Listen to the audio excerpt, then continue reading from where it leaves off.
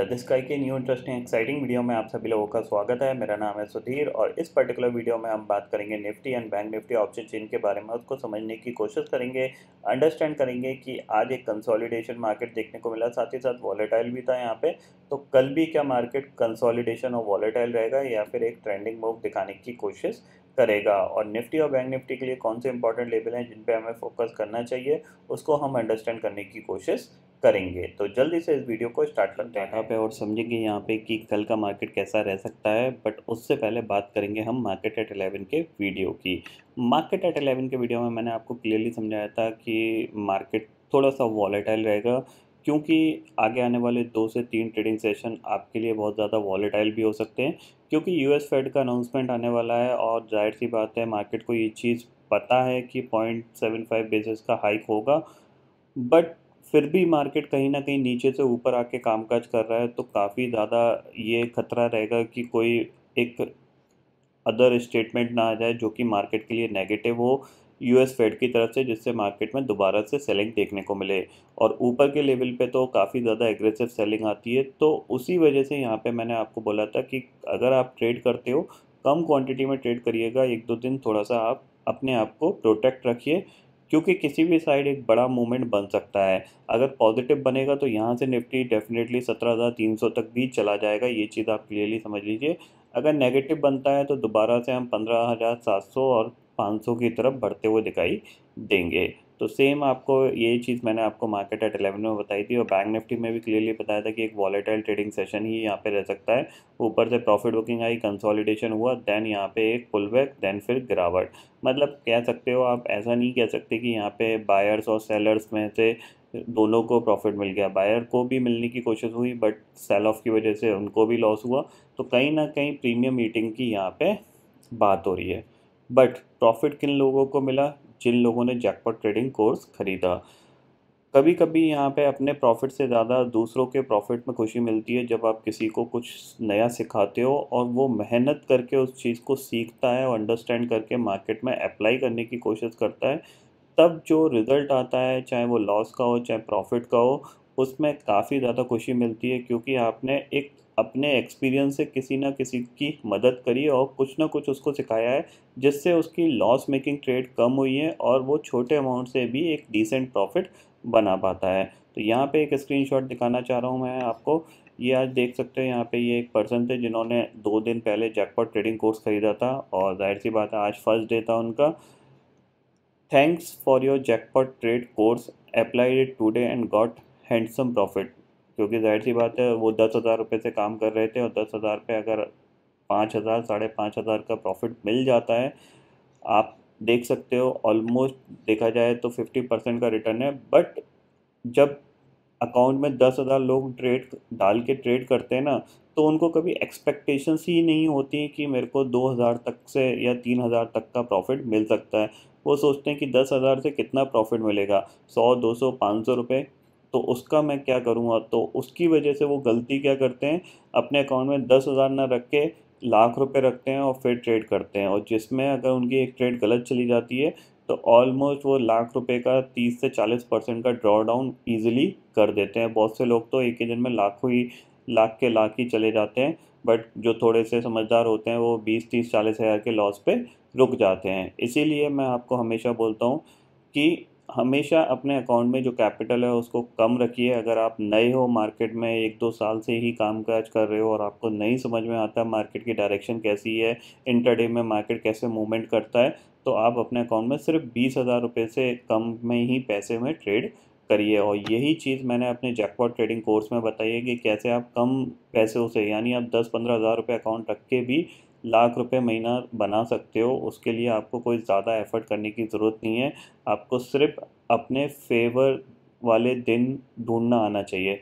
कि कौन से आपके दिन हैं जो आपकी ट्रेडिंग को फेवर कर सकते हैं। अगर आप ऑप्शन बायर हो तो ज़ाहिर सी बात है आपको एक ट्रेंडिंग मूव चाहिए और ट्रेंडिंग मूव जब होगा, तब आपको मेरी स्ट्रेटेजी यहाँ पे आपको बताएगी कि ट्रेंडिंग बन रहा है, तब आप ट्रेड कर सकते हो।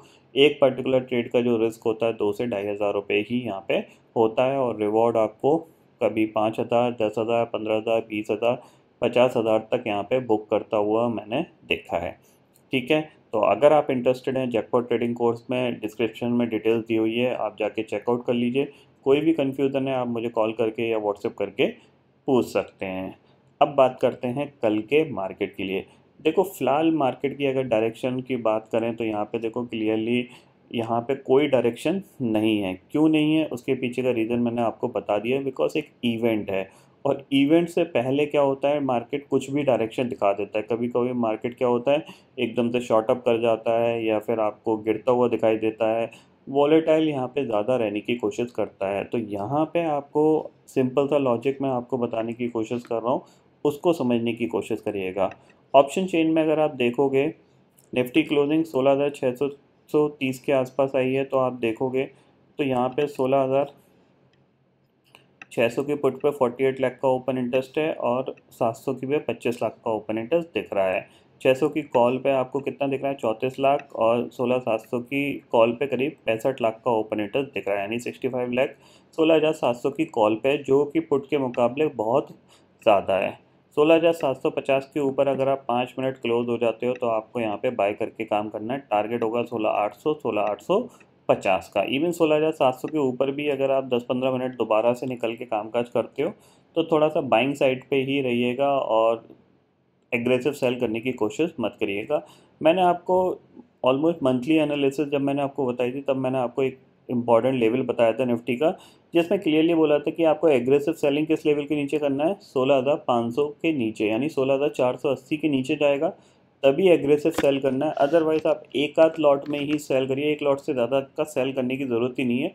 क्योंकि मार्केट में क्या है निफ्टी और बैंक निफ्टी काफ़ी ज़्यादा अच्छे मोमेंटम में चल रहे हैं और किसी भी लेवल से बाइंग आती हुई देख, आपको दिखेगी। तो या तो आप बाय साइड पे रहिए या फिर आप कुछ मत करिए। शॉर्ट करना है तो एक लॉट में आप शॉर्ट कर सकते हो। ठीक है? चलते हैं चार्ट पे और चार्ट को अंडरस्टैंड करते हैं। यहाँ पे निफ्टी का चार्ट है और सिंपल सा लॉजिक है। आपके लिए मैंने आपको बता रखा है कि ये अगर लेवल जिस दिन टूटेगा, सोलह हज़ार चार सौ नब्बे या अस्सी का, उस दिन आपके पास एक अच्छी ट्रेड मिल सकती है, उसके एक दो ट्रेडिंग सेशन का, ठीक है? आपको यहाँ पे एक गिरावट देखने को मिलेगी। करीब करीब डेढ़ सौ पॉइंट का एक कैप है, जो कि फिल कर सकता है निफ्टी, ठीक है? आज के ट्रेडिंग सेशन में एक चीज़ इम्पॉर्टेंटली यहाँ पे बताऊँ तो मार्केट ट्रेंड रिवर्स करने की कोशिश कर रहा है बट वो कब होगा? वो तभी होगा जब ये लेवल ब्रेक होगा। ठीक है? इस चीज़ को आप ध्यान में रखिएगा। इसके ऊपर आपको मार्केट वॉलेटाइल ही रहेगा। और अगर ये कल अपने सोलह हज़ार सात सौ के ऊपर निकलता है तो हमारे पास ऊपर जो टारगेट है, वो कितना है? सोलह हज़ार आठ सौ पाँच का। ठीक है? ये टारगेट आपको आता हुआ दिखाई दे सकता है। बट इस चैनल के अंदर आपको अपनी कैपिटल को प्रोटेक्ट करना है। ठीक है? जब तक ये इस चैनल के अंदर ट्रेड करेगा, आपकी कैपिटल पे बहुत बड़ा खतरा रहेगा रहेगा। अगर आप ऑप्शन बायर हो तो आपको बहुत ही कॉशियस व्यू रख के ट्रेड करना है इस चैनल के अंदर। क्योंकि इस चैनल के अंदर मार्केट क्या करेगा? वॉलेटिलिटी दिखाएगा। रेंज है आपकी सोलह हज़ार सात सौ से लेके सोलह हज़ार पाँच सौ की। ये दो सौ पॉइंट की रेंज आपके लिए थोड़ी सी डेंजरस है। फ़िलहाल जिस कंडीशन में मार्केट ट्रेड कर रहा है। विक्स लो है तो ज़ाहिर सी बात है, एकदम से आपको एक शार्प मूवमेंट मिल नहीं सकता। मार्केट मूव करेगा धीरे धीरे करेगा। तो एक बार मार्केट को अपनी नई डायरेक्शन बनाने दीजिए। ऊपर का ब्रेकआउट या नीचे का ब्रेकआउट ब्रेकडाउन करने दीजिए। तब आपको एक नई ट्रेड यहाँ पे मिलेगी और नई डायरेक्शन मिलेगी। मोस्ट प्रॉब्ली जो मेरा एक्सपेक्टेशन है, एक नई डायरेक्शन मार्केट की जो बनेगी, वो आपको वेनसडे के बाद ही यहाँ पे होती हुई दिखाई देगी।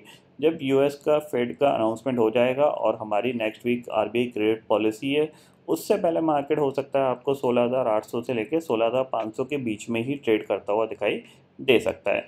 तो कल के लिए इंपॉर्टेंट यही है कि अगर आप 16,700 के ऊपर कामकाज करते हो तो बाय करके काम करिए। टारगेट 16,800 आपका फ़िलहाल ओपन है। ठीक है?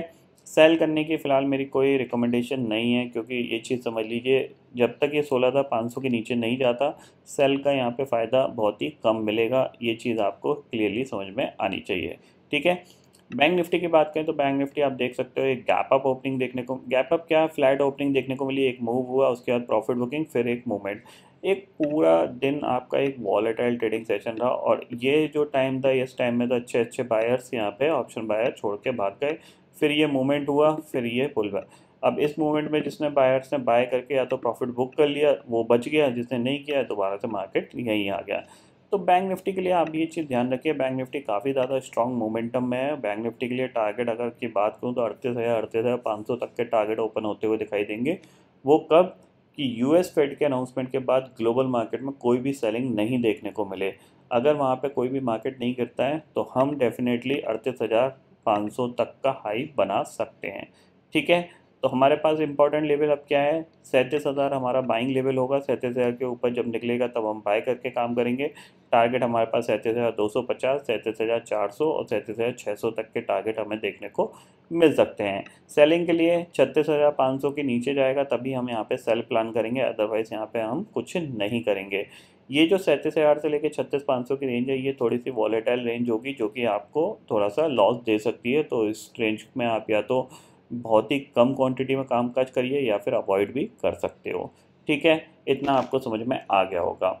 ग्लोबल मार्केट की बात करें तो करेंटली देख सकते हो आप इंडस्ट्रीज़ फ्यूचर्स में यहाँ पे जो ब्रेकआउट में पिछले ऑलमोस्ट पाँच छः ट्रेडिंग सेशन से एक्सपेक्ट कर रहा था even last Friday trading session में भी एक्सपेक्ट कर रहा था हो सकता है वो आ जाता हुआ दिखाई दे। डाउजोन्स बत्तीस फ्यूचर बत्तीस हज़ार के ऊपर कामकाज कर रहा है। डेढ़ सौ पॉइंट ऊपर कामकाज कर रहा है। अगर ये सक्सेसफुली यहाँ पे क्लोज होता है तो एक नई रेंज खुलेगी जो कि तैंतीस हज़ार पाँच सौ तक की होगी। और यूएस फेड के बाद मीटिंग के बाद यहाँ पे अगर नहीं गिरते हैं तो डेफिनेटली तैंतीस पाँच सौ और चौंतीस हज़ार के टारगेट आपको देखने को मिल सकते हैं। नेस्डेक में भी करीब 66 पॉइंट का उछाल के साथ यहाँ पे नेस्डेक फ्यूचर कामकाज कर रहा है। यूरोपियन मार्केट भी करीब करीब आधा परसेंट के आसपास का, ऊपर कामकाज कर रहे हैं।